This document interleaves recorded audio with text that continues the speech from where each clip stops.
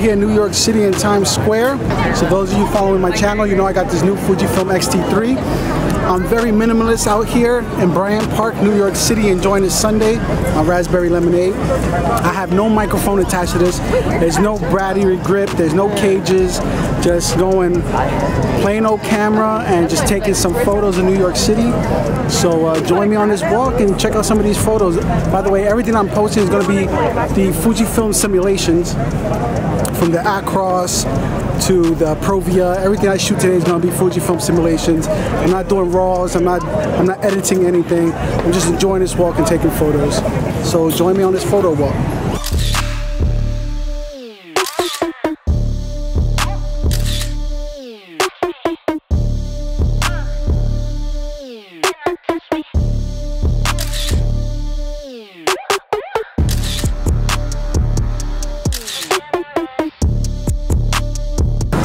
I'll be honest with you, I'm not a big fan of the city. I'm not a big Manhattanite. I was born and raised in Brooklyn, but I'm out here because every Sunday I come out here to Times uh, Times Square to do some video and uh, streaming work.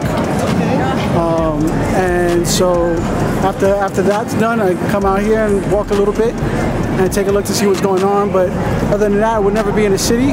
But it's cool for photography. There's there's things here. It's not my kind of photo vibe. I like more industrial, more classic New York. But this is cool too.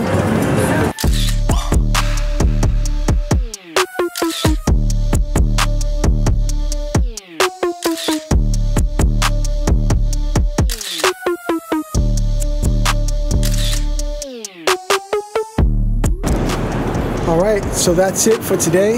This short photo tour of New York City on my Fujifilm X-T3. It's fun, it's exciting. I enjoy using this camera, and I broke every rule today recording this. Everything's been on automatic. Um, as far as filming, I, am not even following the uh, the 180 rule. I'm just putting everything on automatic uh, and just shot. But some of the uh, photos I've shot were completely manual shooting. Uh, but as far as the camera system, I'm doing uh, completely automatic. Uh, I'm relying completely on the camera to capture the film and follow none of the rules that uh, apply to when you're filming. And so yeah, now that's it. Ready to go home, edit this, throw it up there, and had a good one, guys. See you next time. Peace.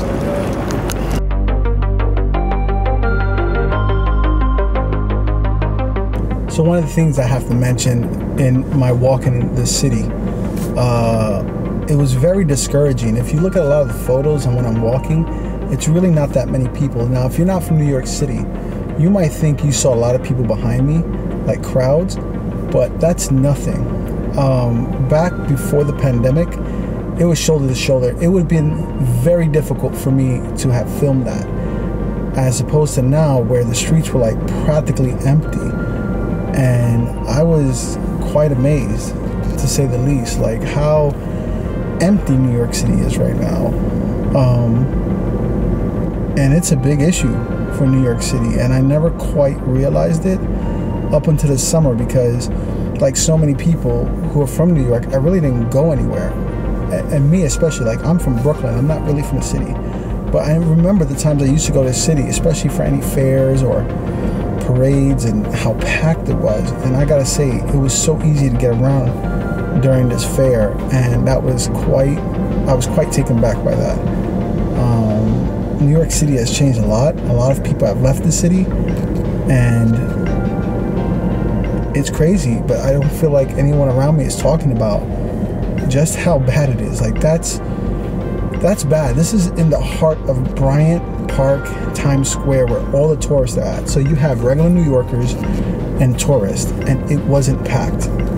That was a, a wow moment for me on just how bad has become here. The situation has become here in New York City.